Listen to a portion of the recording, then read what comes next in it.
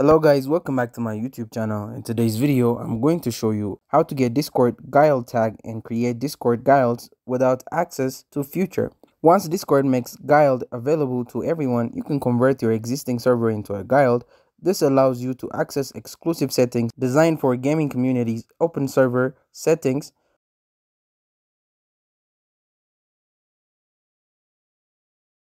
Look for the Guild setting option in this section you can select your games, playstyles, trail colors, badge, and more after customizing. Click Save and Exit at the top right, joining a guild without access. If you don't have the guild creation option, yet there are three ways you can join an existing guild method. One, through the Discovery tab, click the Discovery tab in Discord. You will see a list of available guilds that you can join. Method 2, via an invite link. Similar to joining a regular server, someone can create an invite link for a guild Use this invite link to join the guild. Method 3 from profile or message. If you see a message or profile with a guild tag, simply click on tag and tap apply to join.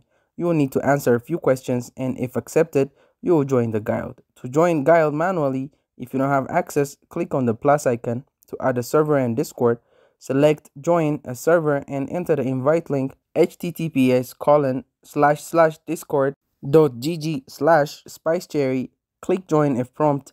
Answer question. You can type yes. Can you boost the server? Answer according to your availability. Once you submit your application, it will be pending for review. If the moderator approves, you will join the guild. So that's it. Thank you guys for watching this video. If this video was helpful, don't forget to like and subscribe to my YouTube channel.